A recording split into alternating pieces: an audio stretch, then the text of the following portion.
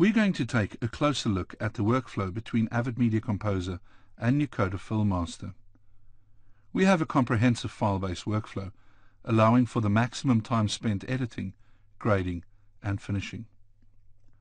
Starting off, we have a sequence in our Media Composer, and you'll notice we have various effects in the sequence. Picture-in-picture, dissolves, speed effects, stills, as well as a video mixdown. I'm going to export this composition as an AAF before moving back to Nucoda Filmmaster. Once inside Filmmaster, I'm going to import the AAF that I had exported. In the dialog box, I'm going to select the option to import media from MXF Paths and ask it to automatically conform to the material. Selecting the Expand Nested Tracks and Read Times function will allow us to view read times in our enhanced view, designed to allow for round-tripping between Avid and Filmmaster. By choosing Apply AAF Effects, I would automatically use any rendered Avid effects in the grade. After importing, you will notice that the timeline looks very much like the timeline in Media Composer, and you'll also see that I can play back the native MXF media in real time. At this point, we have the clips on multiple tracks.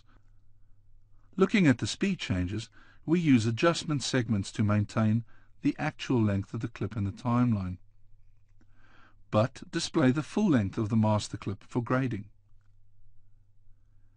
I have prepared an overall generic grade to apply to all the clips to speed things up a bit. I select all the clips and apply the selected note. Since I'm going back to the Avid, I'm going to select to export the AAF. At this point, we also have the option to export to Interplay if we wish. This option will allow for the export of the AAF and automatic check-in of the media into Interplay. I can choose the format I would like to export, and I'm going to export it as DNxHD 185. And select the location for the AAF. The files will now be exported as MXF files.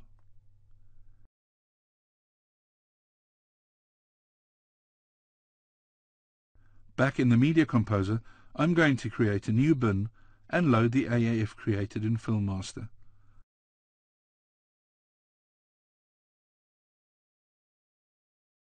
After importing, I can see the DV grade sequence in the bin, and when I reload the sequence, the graded media appears in place of the ungraded media, and all the other effects are in place.